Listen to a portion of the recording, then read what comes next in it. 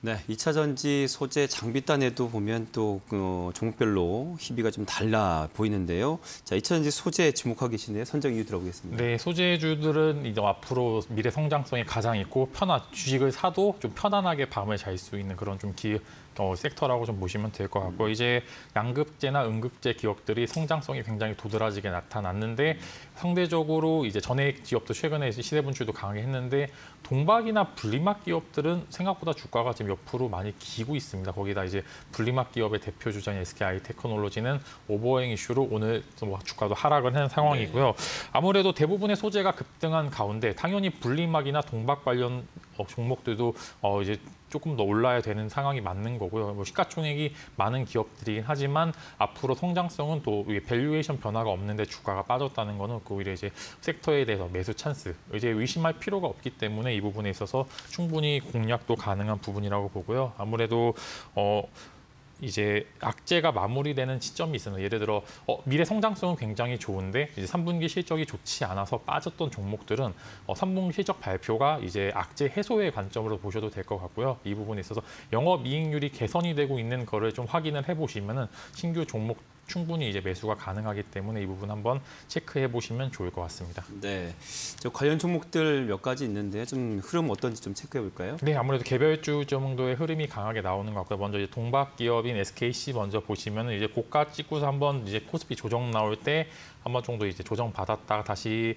어, 지금 26만 원대에서 어, 지금 늘고 있는데 이 네. 부분에 있어서 만약에 쭉 이통 평균선이 모여서 여기서 만약 양봉이 하나 강하게 나오게 된다면 추가적으로 상승 여력은 충분하다고 보고요. 그다음에 이제 일진 머터리얼즈. 네, 일진 머터리얼즈 보면은 이 종목은 또 다시 한번 고점을 갱신하러 가고 있습니다. 충분히 고점으로 갈 수 있는 메리트는 충분하다고 보고요.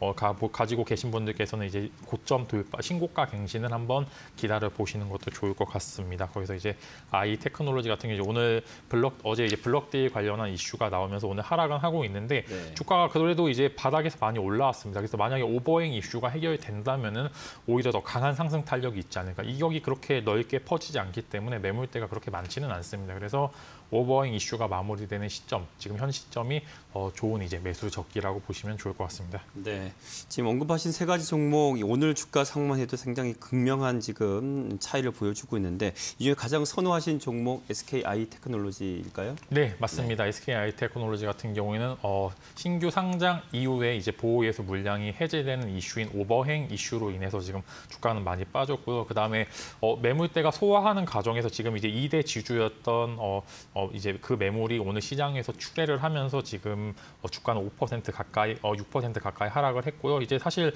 어, 미래에 대해서 어, SKI 테크놀로지가 조금 이제 어, 3분기 실적도 안 좋았고 거기에 오버행 이슈가 있어서 주가는 많이 빠졌지만 성장성은 의심할 필요가 없습니다. 앞으로 이제 어, 그 이제 배터리 시장이 더욱더 커지면 그 안에 있는 분리막 기업 또한 충분히 메리트가 있고요. 당연히 국내에서 판매되는 배터리의 대부분들은 그 안에 분리막이 들어가기 때문에 이 부분에 있어서 계속적으로 보시면 좋을 것 같고요.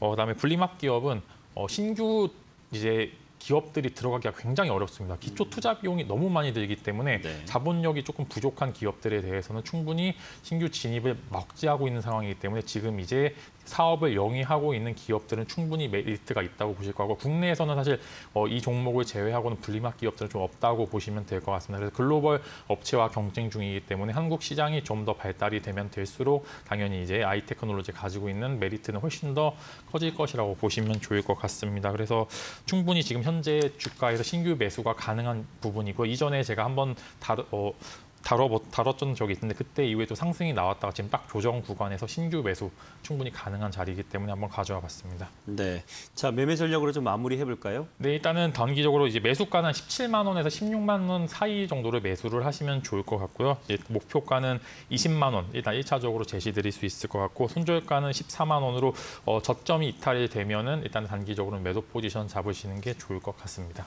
네, 오늘 테마인 이슈는 DB금융투자 강남금융센터 김진만 팀 함께했습니다. 오늘 말씀 고맙습니다.